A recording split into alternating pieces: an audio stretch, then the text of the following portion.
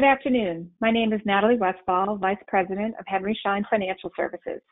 I'm joined today by Jeff Agranoff, Consulting Principal, and Lou Pizzoleo, Partner of Grassi Advisors, who will lead our discussion on the recent changes to the Paycheck Protection Program.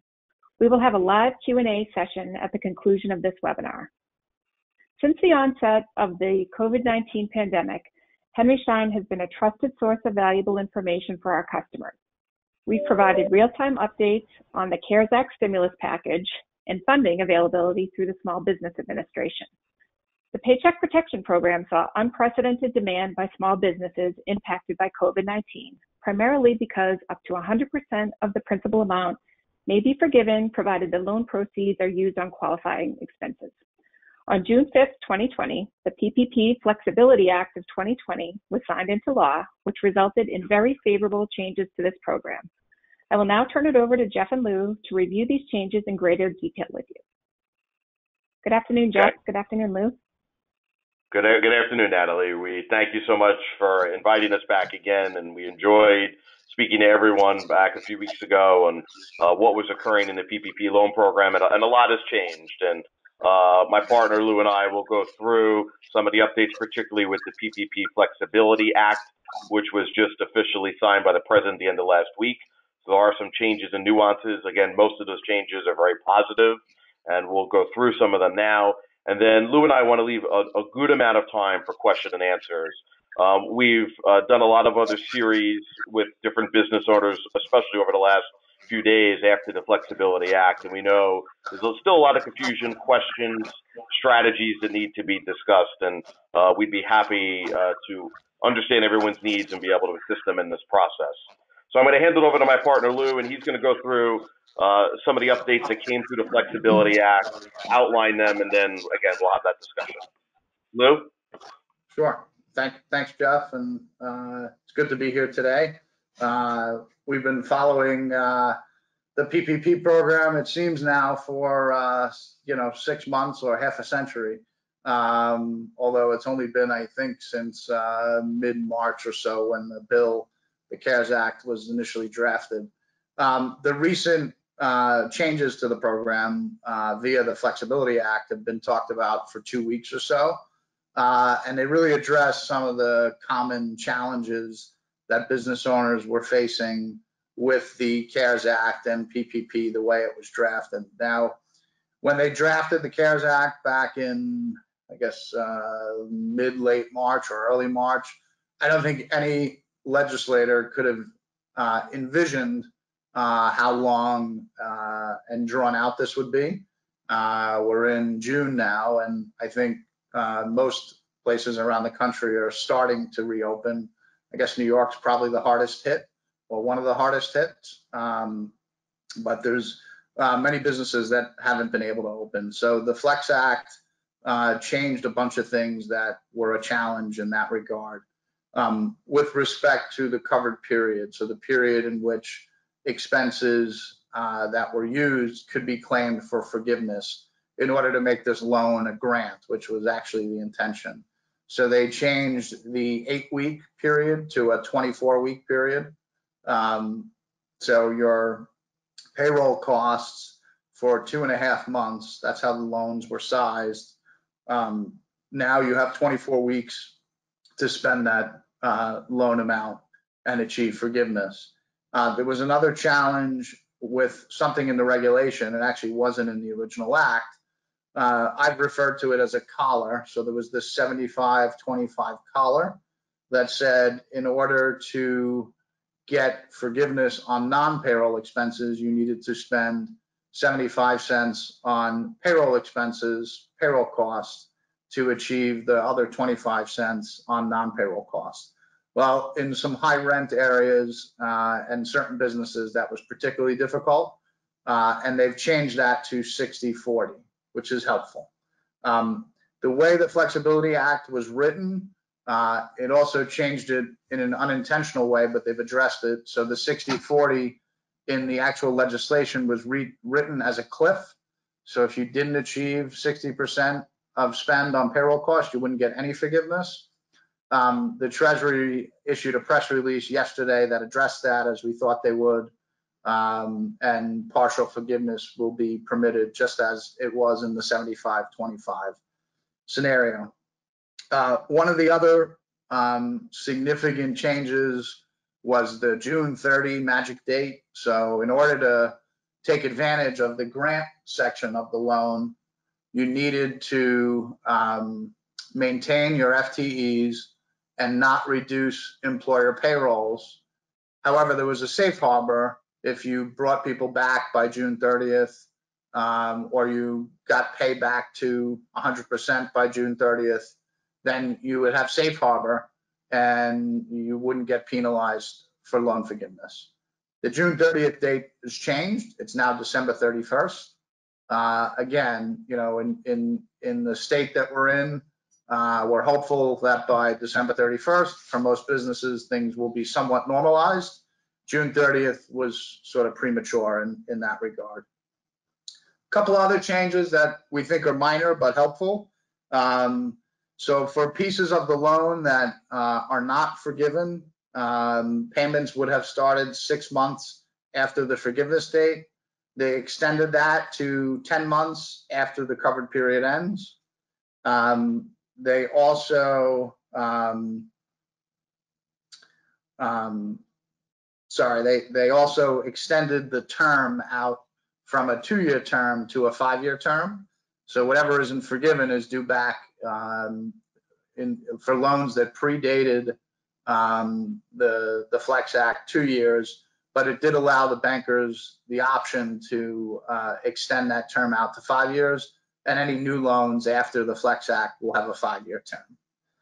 The one piece that is left unclear, which we're hoping for some clarification in the next week, we know that the um, Treasury has a suite of about 30 additions to its FAQ document and they're drafted but holding them. We're expecting them to come out this week or or the following week. Um, one of the items that um, wasn't addressed specifically is the $100,000 cap.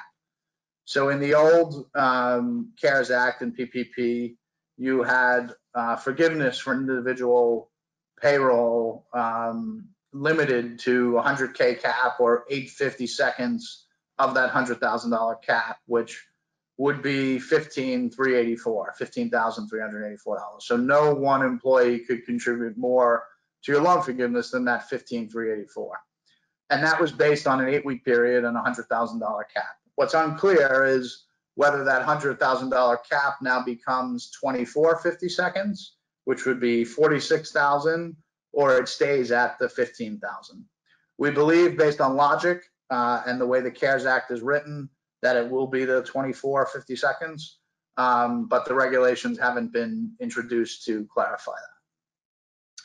So that's how, that's, that's the, um, that's all I have from a bullet point standpoint on, on the Flex Act.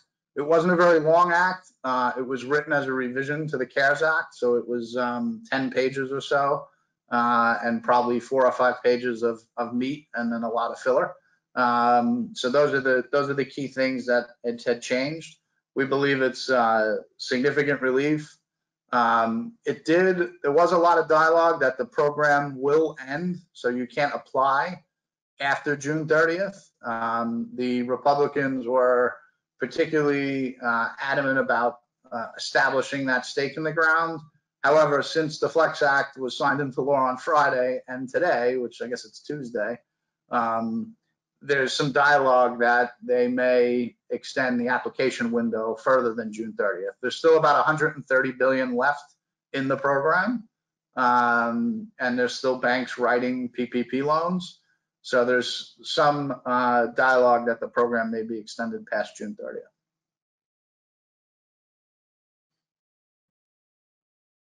And Lou, just to add to some of what you shared, we know we've spoken to a lot of people in the Henry Schein network uh, that have applied, but a lot that haven't applied or might be nervous to apply. Um, a lot of the reasons that people were concerned have now gone away, as Lou has shared. So some of what we would like to go over today is if you haven't applied, what are the steps to apply? What are the risks that you might have? Which again, like anything else, there's some risk, but not significant. Um, there's a lot more flexibility, hence why they, you know, uh, called it the Flexibility Act. And um, if you're a business owner and you've had any type of hit financially or operationally inside, you know, your organization, you really should have no issue with being eligible. One of the So questions Natalie, that do you want to go over some of the Q and A? Yeah, I yeah. So um, we're just waiting for you know anyone that is listening. Please feel free to type your questions into the chat function, and we will address them live on the webinar. One of the questions that I have, um, Lou, you touched on it really briefly, is people that already applied for or received PPP funds. Um, many of these companies or small businesses were really managing to that eight-week time frame. How does this really change uh, for them? Sure, we, we've seen this come up a lot, and it, it is a challenge from a business perspective. Uh, I, I've had several folks that I've been helping along with this that were managing to that eight-week deadline. So if they had, let's say, you know, seven or eight or 15 full-time equivalents in their baseline period, they may have brought somebody back earlier than they really needed to um, to take advantage of the eight-week period. Uh, they did allow the borrower to elect to use the eight-week period. So I, I don't know that there's much advantage there other than to just kind of leave it behind you. Uh, so if you achieve all the spend and you maintain your FTEs and you still want to apply for forgiveness after your eight week period, um, you're still allowed to do so. You can elect to do that.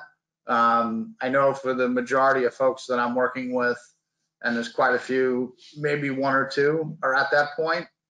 The other challenge will be in the, the reality of that is the banks aren't quite set up yet to start processing loan forgiveness.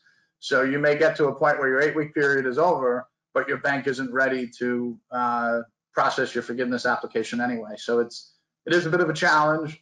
Um, the good news is, you know, I think in the early parts of PPP, the goalposts seem to be moving further and further out for folks to achieve forgiveness. Uh, the past three or four changes, um, starting with how they changed the certification uh, guidance, and then with the initial forgiveness application, and now with the Flex Act, have all moved the goalpost in. So it's more likely the large majority of folks that applied for a PPP loan will use it as a grant rather than a loan. And that really was the legislative intent, even though they used the 7A loan program to get the money out. The objective was to have a grant for the sustainability of jobs, not just in that eight week period, but long term sustainability. Because, um, you know, if they provide a grant, it kicks the can down the road eight weeks. That doesn't help anybody. The objective here was to help these businesses survive through this troubled time uh, and have working capital for when the lights come back on. So I, I think the 24 weeks definitely achieves that. Um, the December 31st date is, is you know, uh, like I said, in, when they wrote this in March, who would have thought we'd be talking in June and there's still businesses that aren't open. Um, Right. so I think they've achieved all that. But yes, there, there were many, many folks that were managing to that eight week timeline uh, and now have a different timeline to manage to. Yeah, and, and Lou, just to add Yeah. to that point too, if if you've managed the eight week point and you think you've had most, if not all, the money spent, granted the banks might not be completely ready. The idea also is you would work on the June 30th headcount requirement, or obviously the average of the eight weeks. Where for some reason you felt your business was going to have a, a greater effect later in the year, you might choose to go with that eight week period. That's the most common reason I'm seeing some people and clients kind of go that route. But I agree, the vast majority are likely going to go for the 24 weeks to just make sure you're getting you're using all of the dollars in the you know that were allocated to you. I think even from a simplicity stake standpoint, you know, if you, if you use a 24 week period, most companies will be able to capture it just with payroll costs. Yeah. Uh, And there won't be a need to kind of look at rent and other costs and utilities, which, you know, it's much easier to capture your payroll and payroll registers and 941s than it is all the other documentation required around all the non-payroll costs. So if just for sake of simplicity, it'll, it'll be a win. hmm Agreed. Could you touch on um, the calculation of FTEs? Because I know there's been some um, some questions about that as well that added some confusion. Sure. So um, unfortunately, the CARES Act never defined it. Uh, so early in the uh, in the process, we were using uh, analogy to um, I forgot which act, but it was an older. EPA. Yeah. Uh, yeah. So there was a different act, and that the threshold there was 30 hours. Yeah. Uh, we had talked about a 30 hour threshold, as, as many other people did. Um, and when they put out the, I think it was in the forgiveness application, they defined it as 40 hours. And, and there's two methods by which you can do it. You can do uh, a calculation.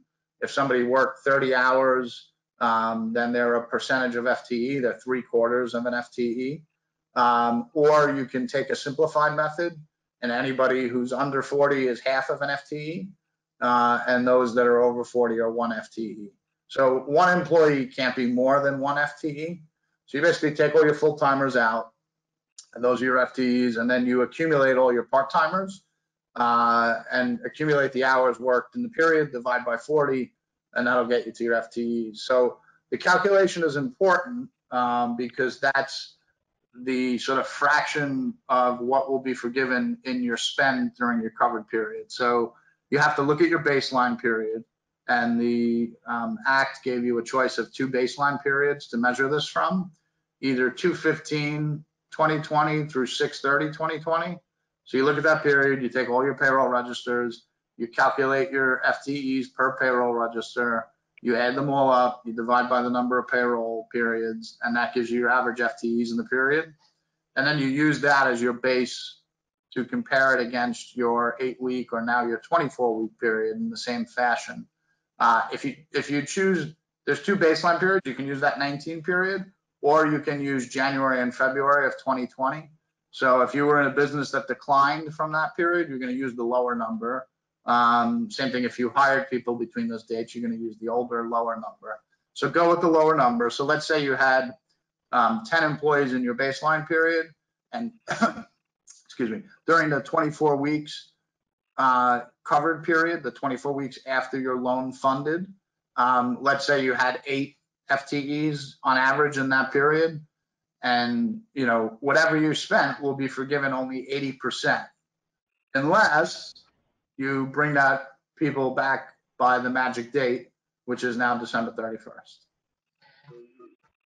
So that's really the most Um, piece of the forgiveness penalty. Okay, thank you. Um, one other thing I was hoping you could touch on is if offices are not able to bring people back, um, you know, due to, you know, certain restrictions that are maybe been imposed based on um, HHS, CDC, or OSHA, um, you know, are those, you know, going to be given any special consideration for those certain areas? For sure. So the, the forgiveness guidelines, the application that came out before the Flex Act created uh, four or five new safe harbors or clarified the safe harbors. So if somebody voluntarily leaves uh, during your covered period, or they're terminated for cause, or you've reduced them and offered them their job back and they don't come back, um, none of those are penalties for your FTE calc. You sort of exclude them from the top and the bottom of the fraction. Um, also, the Flex Act introduced an even broader safe harbor where if you were closed because of government mandate uh, and you couldn't bring the people back in your covered period, then you wouldn't get penalized. And it also had one that was even more broad in that if the business um, volume has changed as a result of COVID, you still have safe harbor. What's unclear is how they'll actually propose regulations to monitor that or how they'll um, process that in the forgiveness application. Um, but when we look at some other guidance of the past, usually they use metric. So, you know, if your revenue is down, let's say 25, 50% year over year in that period, that's probably a good guideline to claim that safe harbor. Um, we're not certain on how they'll regulate that, but there probably will be some kind of empirical evidence that you'll have to provide to claim that safe harbor.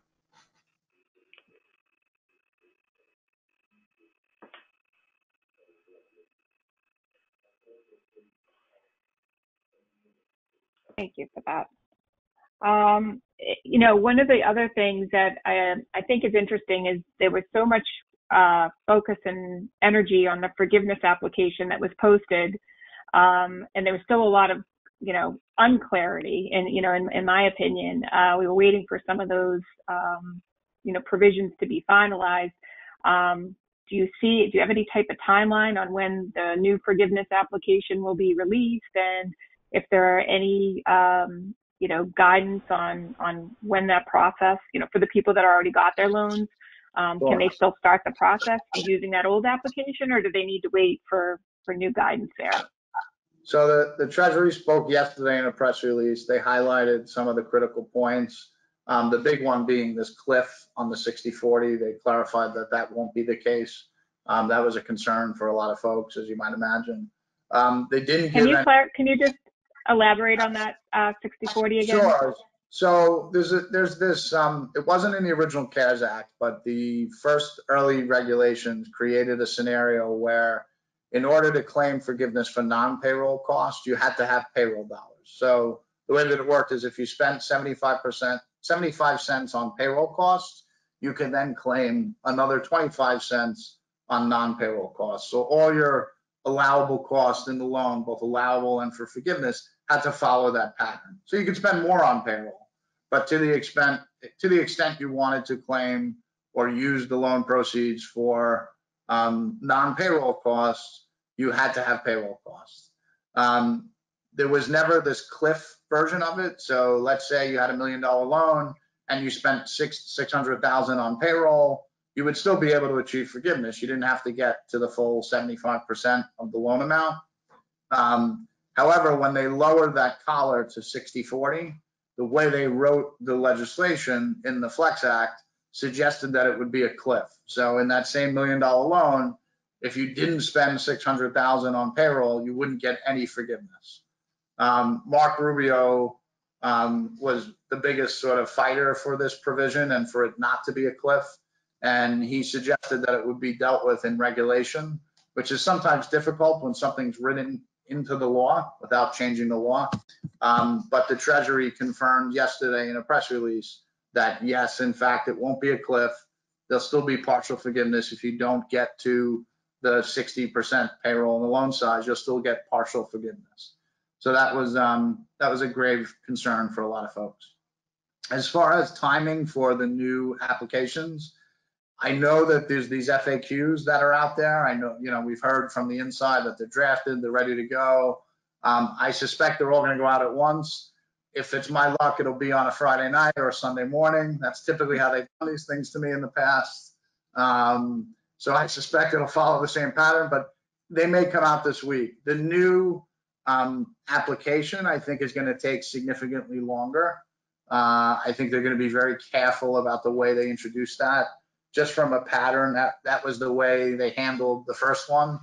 They really took a lot of time. They kind of the pattern has been that when they're not speaking for a while, it's because they're working on something big. So uh, the last time we heard them was was on the forgiveness application, then this press release. I suspect we won't hear from them probably for another week or so. Maybe we'll get these 30 FAQs and then another three days to a week before we get an application. It could be longer. Uh, the interesting thing that hasn't been addressed is if you if you let's say in week 10 or 11 you get everything spent and you have your FTEs do you have to wait to week 24 to file for forgiveness or can you file it along the way i'm hopeful that they'll allow this sort of you know to just be kind of rolling when you achieve it claim forgiveness uh, i think that'll help the banks it won't be this sort of onslaught concentration all in one period um, i know it'll help our practice as well so there's some selfishness as well um, No, that's all blue, right? yeah, whatever it is, we'll all deal with it. But I, I'm, I'm hopeful that they'll sort of, you know, it'll start at week eight and between weeks eight and week 24, everybody will get done as they achieve it. So. I know the banks, the banks also want these loans off their balance sheets too. So the sooner they Right, right. balance sheets. I was going to ask if the interest rate was staying the same with the new terms. I didn't see anything to indicate otherwise, but Yeah, no, it's staying the same at the 1%. And it, it's Okay. interesting, it was lower than that at one point. It was also higher than that at one point. They lowered it. right, lowered it to Right. half a percent, but then the credit unions came forward and said, look, in our business model, on a half a percent, we're losing money, so they raised it to one percent. okay. what else do you think that our customers, you know, considering that most of them are, are self, you know, obviously self-employed dental and medical offices, um, what do you think that they need to know about, you know, the cha- these changes? What else? I know you went through it really briefly, but is there anything that's really specific to our industry that you could cover? Yeah, I mean, I, I think on, you know, for sole proprietors and, and small businesses, the application process, um, depending on how they, you know, whether they're a, a flow through entity, um, or whether it ends up, um, where they run the business and it gets onto their tax return in a Schedule C. Um, those applications function slightly different than, let's say, the core. Um, and your tax accounting actually had a great impact on the way the loan would be sized and how it'll be forgiven and how much sort of owner replacement income you could drive. Um, so I, I, found in working, and we've worked with some folks in that structure, that was really the biggest limitation. So if they structured their um, sole proprietor income a certain way, they were very limited in how much loan size they could take um, even with some employees. Um, you know, if you were a sole proprietor with a few employees and you really didn't take payroll yourself, um, and you, you know, let's say managed your taxable income efficiently, you, uh, in that eight week period, you couldn't really allocate much income to yourself. You might be able to pay your employees, um, but it was difficult to have owner replacement income. So I think the smallest of the small really struggled quite a bit you know, one of the other things that was in the application, which I don't believe they'll change, is for the sole proprietor. Um, you know, there was a lot of talk, I think, or strategy talk around, well, you know, if I took a twenty-five thousand or fifty thousand dollar payroll in 2019, during the eight-week period, I'm going to give myself a raise and maximize the forgiveness. Um, the application prevented you from doing that. It said for the owners and and partners and the um, the forgiveness app, you can't have compensation over your 2019 level. Uh, so they sort of addressed it that way. So yeah, I mean, I think there's some specific unique challenges for that group. I know you serve customers, you know, from that size all the way up to, you know, multi-office, uh, large corp type dental practices. Yeah, Lou, I think the point that we're making here is obviously there's going to be more changes and nuances in the application. And we have to remember whenever you're allowed to apply, you're only going to have really one bite at the apple. So you need to make sure the application is done and filled out correctly. Um, you don't want to misstate anything. You also don't want to understate, and you can't go back to the well again. So um, that's why, obviously, we've been helping a number of clients uh, and friends and people who have not been our clients until now. And, and obviously, you should select an appropriate advisor to help you through this process. No matter what your size is, you want to make sure you maximize forgiveness. And with these ever changing rules, and even banks will probably have some of their own particular rules and nuances as they did when you had the loan application. Not every bank had the same questions in their loan application process. We believe that will be the same in forgiveness, that there's going to be some variances. We've even seen one of the banks of a client um, as for just already significant information that we do not believe is going to be required by the SBA, but that's what the bank has asked for um, in their forgiveness process. So it's going to change. It, it, there's going to be variances to it, and it's important you have somebody working with you to help understand it and to make sure that you're filling it out in the proper way. That's great advice too. Um, I know you mentioned earlier, Jeff, that you've been talking to a lot of Henry Schein customers um, since we did the webinar last month. What have been really some of the key questions from that group um, that's probably applicable to many on this webinar now? Uh, absolutely. Um, as you and Lou have shared before, I think you know we spoke to uh, various groups of sizes, but definitely a lot of uh, smaller practices who had anywhere from you know, three to five, three to six employees. Um, just, you know, back a few weeks ago, concern about spending everything in eight weeks, which thankfully we don't have to worry about. Um, but to the earlier part, um, there were hazard pay was a very popular topic that came up, which maybe now becomes a little less vital. But if you have a practice and you decided to give people hazard pay, which we know, and you know, the dental profession, you know, if you if you and your employees were working, they, you know, should potentially be able to earn some additional money, and you tried to do that to make sure you used all the money in eight weeks. Um, again, now that the Flexibility Act has passed, you can continue to do the eight weeks. I agree with Lou. Our only concern is if you're doing the eight week program to accelerate the forgiveness application, we wish we could sit here today and say, well, on July 1st, you can fill it out. Uh, the banks are surprisingly a little unprepared. Um, I, you know, Lou and I have been on the speaker circuit now for a couple months, so I guess we're sort of PPP celebrities. But uh, I can't tell you the amount of banks that are calling us and asking us questions, and we're very smart guys, but um, I would think they'd be a little more prepared. So um, one of the other things that's coming up, and we've had questions from Henry Schein clients even over the last 24 hours, have been reaching out, is uh, there were some nuances in the Flexibility Act about um, the loan potentially how it gets transferred 24 week period. If you had the loan established before the Flexibility Act passed, technically you're going to have to uh, kind of bridge your loan or apply to use the 24 week period. And we had some very eager beaver clients that were saying, well, they're calling up their banks. Oh, I, I just want to make sure you're recording that I'm moving to 24 weeks. And the response of really all the banks so far is, we don't even know how we're supposed to do it yet.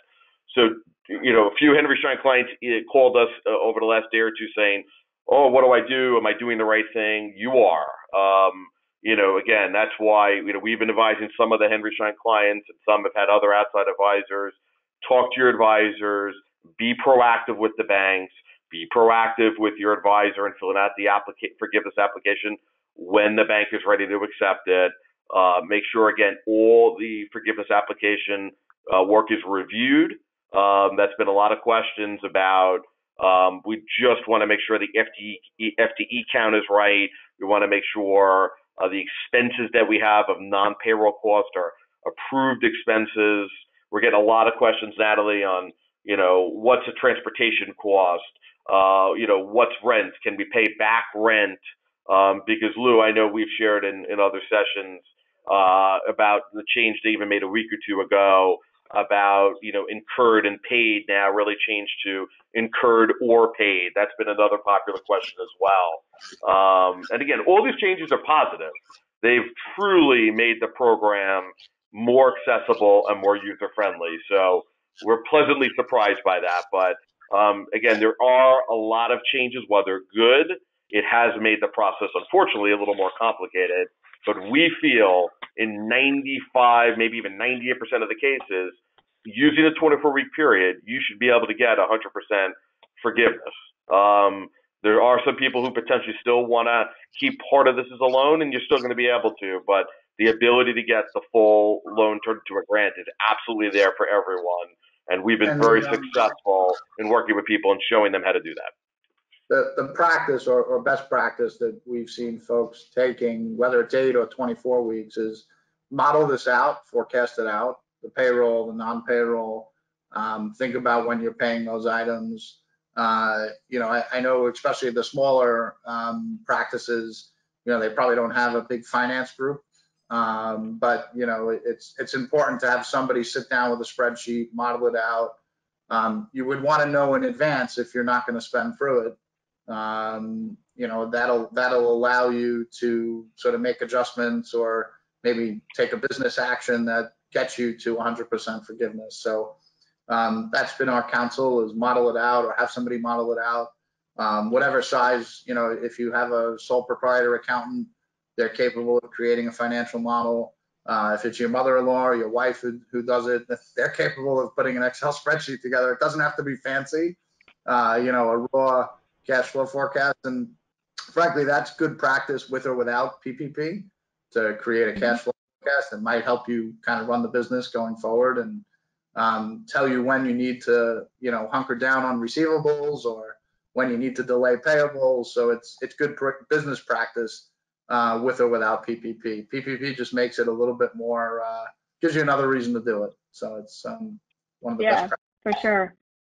It seemed with the first uh, tranche of funding that we went through it really quickly. And when the second round was added, we were all expecting um, that to go as quickly as well. And then it, it really stopped. You know, it didn't, you know, it didn't stop, but it slowed to a snail's pace um, compared to what it was initially. Um, do you think people were, you know, waiting this out? You know, do you have any comments about, you know, maybe why the activity changed so much? So I think there were there were two things, two drivers. Um, one was the fumble that the Treasury made with the certification. I think they scared everybody to think if they took the loan and somebody questioned it, they'd be locked up and be criminals. And know, no business owner wants to go to jail. It's not a good look. Um, or incur penalties while you're chasing a loan. You know, whether it was civil or whatever kind of penalties. So they took those teeth out. Um, you know, they created safe harbor for all loans under two million. They'll assume you made the certification in good faith. Um, they also said if it's over a two million dollar loan and they look at it and they determine for whatever reason they don't believe you made it in good faith, they'll ask for the money back, and as long as you give it back to them, they'll leave you alone. Um, so that helped, but I, I think that sort of theme turned off so many business owners and put a bad taste in, in folks' mouths that they shied away from it. Um, the other challenge was this eight week period. So, you know, many businesses that were closed said, I don't need a loan. This is, you know, I, I when eight weeks is up and I can open again, maybe, but right now I don't need a loan. I'm going to take this and it's going to be a loan. And many small business owners are afraid of debt. Um, so I can understand where that's come from. A lot of them operate very debt efficient. Um, so many didn't want to take on that debt. I, my forecast when the Flex Act came was that there'd be this rush again, like the first wave, um, because there's 130 billion left. Um, but we haven't yet seen that. We haven't seen the level of activity that uh, we thought we might.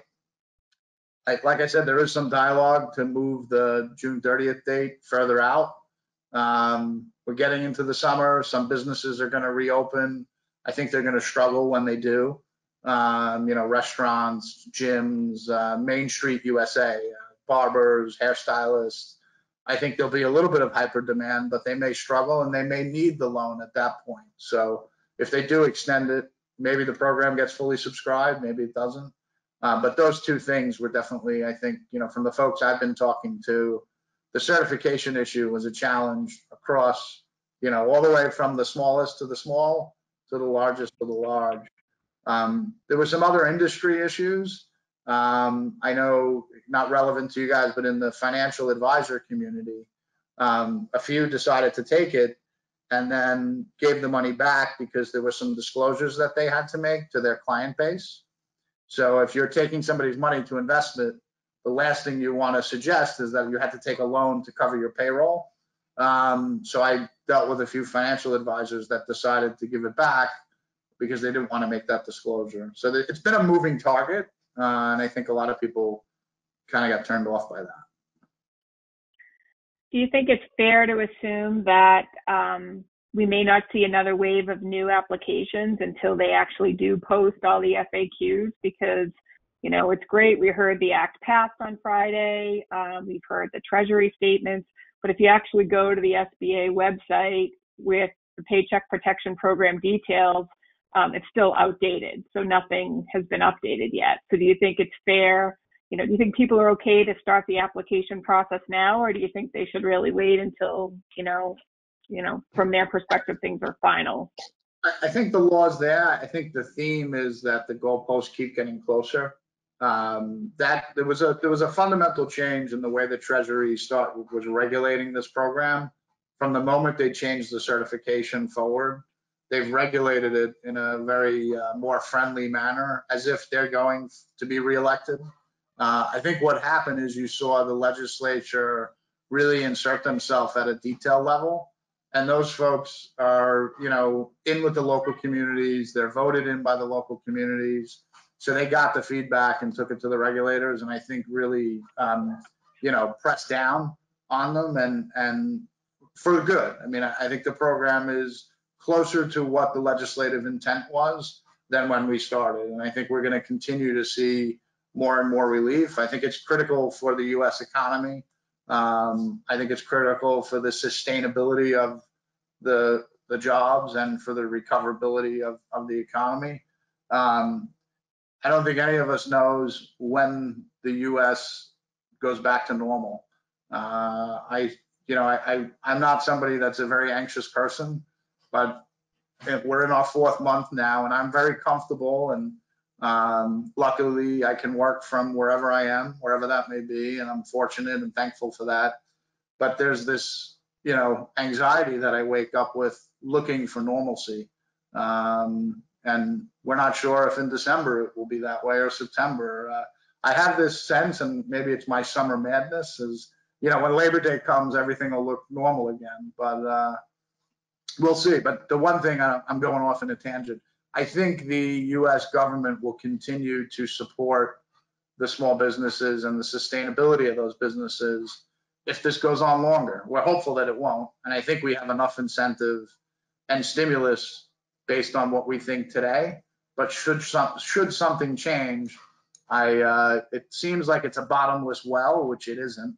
Uh, but I think the government will continue to support small business in this fashion. Great, that's definitely reassuring. Um, Jeff, do you have any final comments for the group today? Well, I, I think we've shared obviously a lot of critical information, um, and again, uh, stressed the importance of uh, what's changed in the Flexibility Act. I think uh, you know some of our thoughts dealing with hundreds of clients and people managing these processes over the last few months is everyone has a different scenario. Um, you know, it's important as we shared to make sure you look at your circumstances to maximize uh, the usage of the loan, and then obviously make sure it can be handled under forgiveness. Uh, to definitely stay on top and in touch with advisors like us and others. Um, there's going to be more, you know, adjustments, even though we think the bulk of what we see here is what's going to be final. Um, Lou has mentioned before about the FAQs, uh, and there's still a couple unanswered questions as we get into this uh, forgiveness process uh, over the summer, and then obviously later in the year. Um, so just to stay on top, and obviously we hope to work with you know many of the Henry Schein customers and continue to be aligned with obviously the great organization that you have in being uh, an information source to make sure people are aware of all the updates, changes that that come to play on this. Um, but just again, stay in touch, stay involved.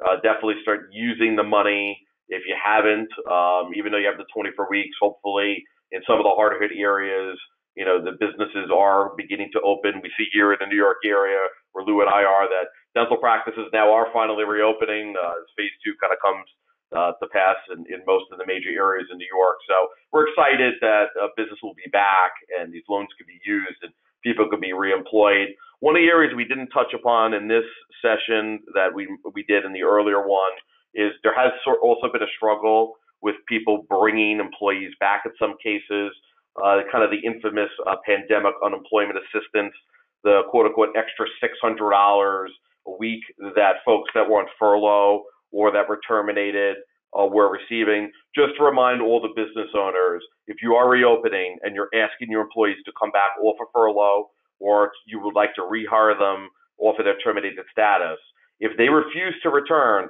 not only as Lou shared before, will they not necessarily be deleted as a headcount for PPP loan um, they also are not eligible for unemployment.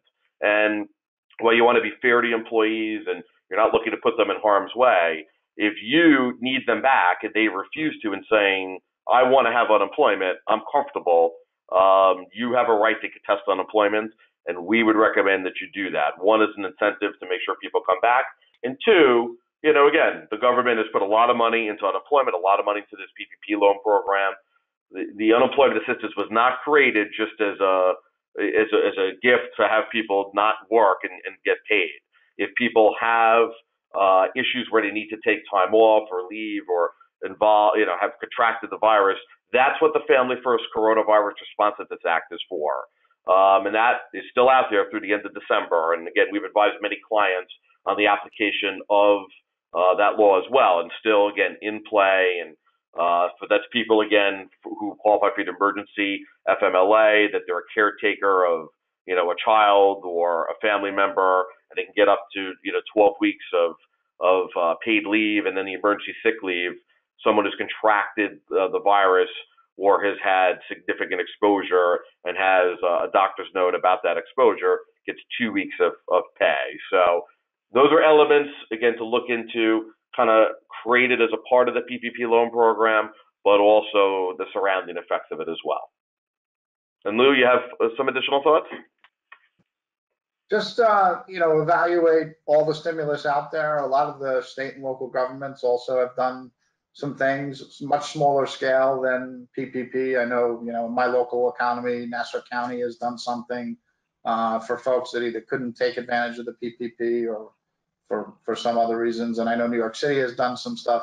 It's usually for the very, of the, the very small of the smallest, um, but worth a look. Uh, usually the local IDA is a, a good uh, resource for that. Um, so take a look at that. And the one other thing I didn't mention that the Flex Act changed um, was the payroll tax deferral. Uh, so the CARES Act allowed you to um, the take the employer portion of the Social Security tax, which is a payroll tax, and it allowed you to hold on paying that. So you didn't have to pay it. You can hold the money, and then you would be required to repay it in December of 2021 and 2022. So very cheap cost of financing. It's a zero interest loan essentially. It's not the first place you want to borrow from, um, but if you need some assistance with cash flow, it is available. The Flex Act um, allowed that program to operate with PPP. So if you're a PPP recipient um, prior to the Flex Act, you could use it, but when the loan got forgiven, you would then have to remit it. Now you use it just like any other user. Uh, if you have PPP or not, you can utilize that deferral and then not have to remit that money to the to the, lo- the local payroll taxes until December. Uh, sorry, the federal payroll taxes until December and um, December of 2021 and 2022. So that's a you know it's six and a half percent approximately of of the payroll. So it's not a big amount, but uh, it's another source of potential uh, cash flow assistance. That's great. Well, um, on that note, I would like to thank both of you for your time and valuable insights on this topic. Um, I think uh, for our customers, that final FAQ, um, that's going to be really important for us to really determine what else might be behind the Flex Act that we aren't fully aware of. Um, so we'll be looking to provide a brief update to our customers once that happens. Um, we do keep the Henry Schein CARES Act site up to date with information as it becomes available to us. So we are obviously watching this very closely. So on that note, I'd just like to thank everybody for their time today and thanks for tuning in. And we'll look forward to providing you with continuous updates on this topic.